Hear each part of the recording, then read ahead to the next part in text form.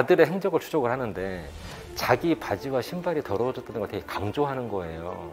우리는 정민이를 찾고 있는데 자기 옷이 더러워졌다는 걸 강조하는 게 좀 이상했어요. 현재 정민군 아버지는 여러 곳에서 인터뷰를 하고 있는데 그 이전부터 뭔가를 알고 있었던 정황이 드러나서 충격적이다. 영상을 끝까지 시청해 주시면 감사하겠습니다. 유튜브에서 정민군 아버지는 존경받는 상사분이고 손수석이라고 불려진다고 한다. 그래서 링크드인에서 검색했을 때 삼성물산에서 해외 31개 지점을 관리하는 차부장급이라는 얘기가 나오고 있다. 그런 그가 언급했던 정민군 친구의 의심스러운 정황들을 정리해보았다.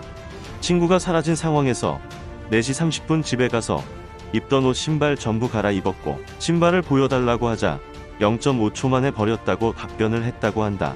친구는 30일 오후에 발견되었는데 29일에 그냥 단순 참고인 조사와 2차 최면 조사 때부터 변호사를 선임해 대동을 했다. 결백했으면 왜 굳이 변호사를 선임하느냐고 주장했다. 친구는 정민군의 빈소를 찾아오지 않고 연락두절 상태인 것이 말이 안 된다고 한다. 그리고 실종 장소라고 친구가 언급했던 장소는 신발이 더럽혀질 수 있는 장소가 아니다. 흙이 아니고 잔디가 대부분이고 물이 보이는 곳이 낭떠러지 같이 보이지만 밑에 25도 정도의 언덕이랑 돌들이 깔려 있다. 심지어 저 강 초반은 수심이 30cm라서 물에 빠져서 허우덕 되려면 엄청 깊이 들어가야 한다. 이런 와중에 경찰은 이제야 정민군의 휴대전화 포렌식을 진행하고 A씨가 타고 간 택시의 기사 신원 파악을 하기 시작했다.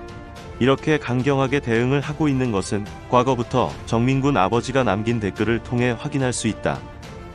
한 댓글에서 아이쉐어링을 이용해서 새벽 시간대에 정민이의 휴대폰이 세부적으로 어떤 장소로 이동했는지를 확인해 볼 필요가 있다고 하자 이미 확인했다며 숨겨놓는 것도 있어야 한다며 의미심장한 말을 남겼다.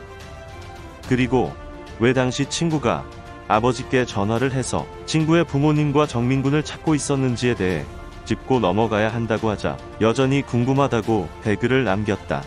심지어 범인 가족이 평생 발 뻗고 편하게 잠을 못 자고 매일매일 악몽에 시달렸으면 좋겠다는 말에 그게 원하는 것이라고 한다.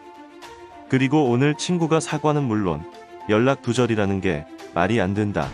정말 떳떳하다면 아파트 CCTV, 휴대폰 제출을 해야 한다. 만약 고의가 있었으면 죄가 더 가중되기 전에 하루빨리 자수하라는 말에 제 마음을 읽고 계신다고 하여 더 마음을 아프게 했다.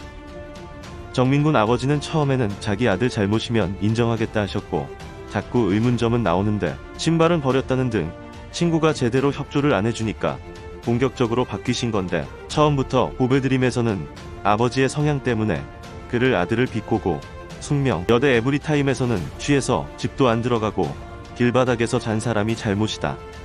젊은 총각이 세상 무서운 줄도 모른다면서 정민군 아버지 가슴을 후벼 파는 말들을 해서 논란이다.